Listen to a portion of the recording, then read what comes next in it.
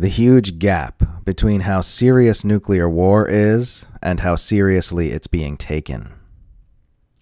Sometimes I'm not sure what presents a greater threat to humanity nuclear war or the colossal stupidity that has made it possible.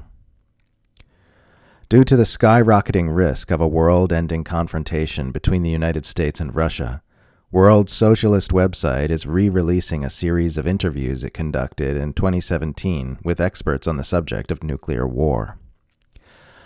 One of them is with a senior scientist at Physicians for Social Responsibility named Steven Starr, which World Socialist website has titled Nuclear Winter: The Long Suppressed Reality of Nuclear War.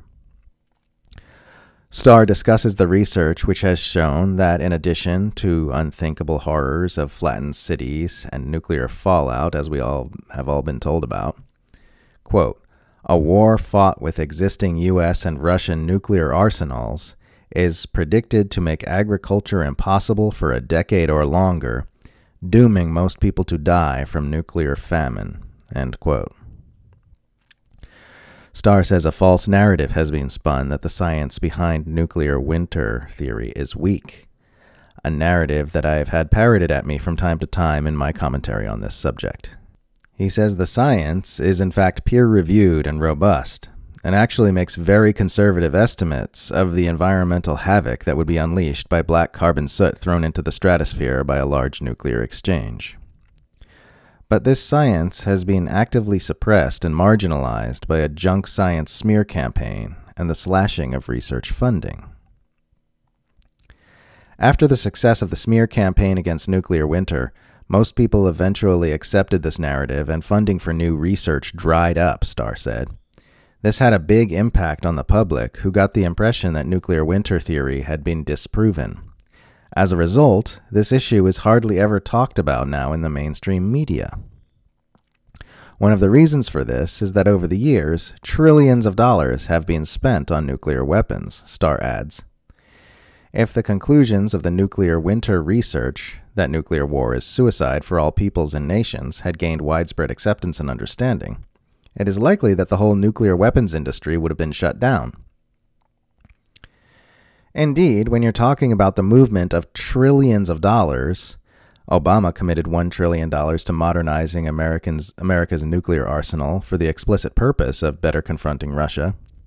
You're talking about the kind of money that any amount of underhanded gangster tactics would be employed to secure. But I think another major part of it, which goes unmentioned by Starr, is the fact that if people truly understood how dangerous nuclear war is for everyone on this planet, Nobody would consent to the kinds of Cold War games that the drivers of empire have been intending to play with those weapons. If people truly understood that their life and the lives of everyone they love are being gambled like poker chips in nuclear brinkmanship maneuvers geared toward securing unipolar planetary hegemony for an undeclared empire loosely centralized around the United States, those few empire architects would soon find themselves on the losing end of a tooth and claw fight against the entire human species. The ability to win Cold War power struggles is dependent on the mainstream public not thinking too hard about what nuclear war is and why it is being risked. So I think we're seeing a broad lack of awareness among the general public of just how close to the precipice we are, for the same reason nuclear winter theory has been suppressed because if everyone deeply understood how dangerous these unipolarist grand chessboard power plays are, and how they deliver no real benefit to ordinary people, they wouldn't permit them to happen. A responsible news media would be educating the public about things like nuclear winter, and how easy it would be for a nuclear war to be triggered by a malfunction, miscommunication, misunderstanding, or miscalculation in the chaos and confusion of soaring Cold War escalations as nearly happened many times during the last Cold War. A news media whose job is not to report the news, but to manufacture consent for imperial agendas, will do everything it can to prevent people from paying attention to those things.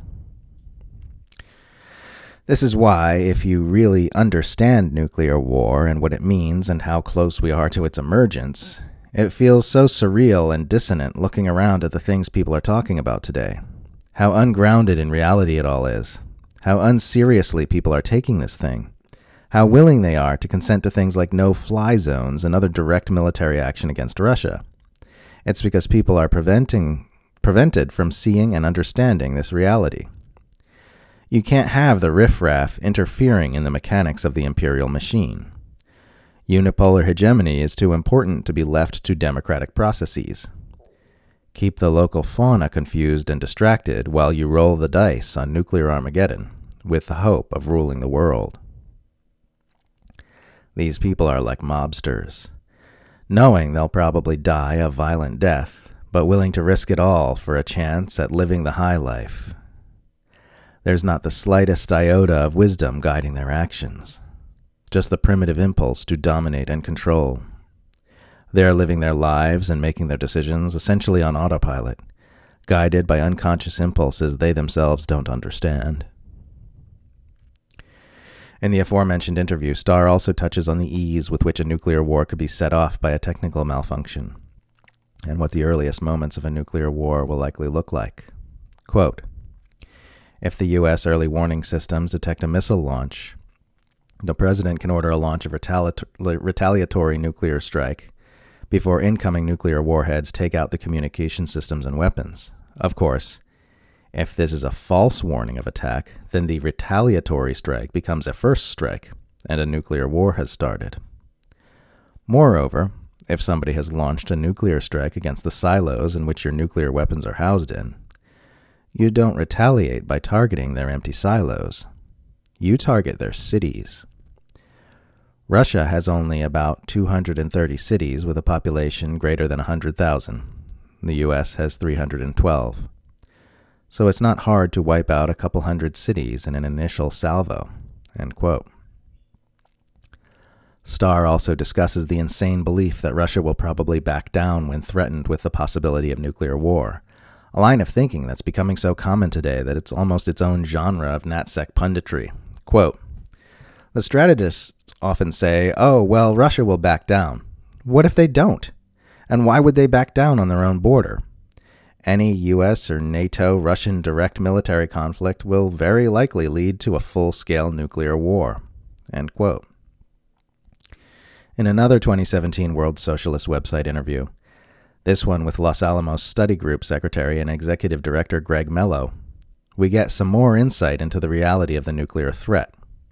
Quote, to a first approximation, in a nuclear war between the US and Russia, everybody in the world would die.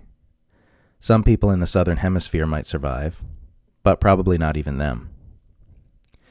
The imagination cannot encompass nuclear war. Nuclear war means nuclear winter. It means the collapse of very fragile electronic, financial, governmental, administrative systems that keep everyone alive. We'd be lucky to reboot in the early 19th century. And if enough weapons are detonated, the collapse of Earth's ozone layer would mean that every life form that has eyes could be blinded. The combined effect of a US Russian nuclear war would mean that pretty much every terrestrial mammal and many plants would become extinct. There would be a dramatic biological thinning. The gulf between these expert analyses and what people are consuming in the news could not possibly be wider People simply don't understand what's being done with their lives by powerful people who care only about imperial domination, and the powerful intend to keep it that way. It doesn't need to be like this. There's no reason our planet needs to be dominated by any one single power structure, especially if doing so means risking complete annihilation. We should all be pushing for de escalation, diplomacy, and detente and for the nations and peoples of this world to begin working together for the good of everyone.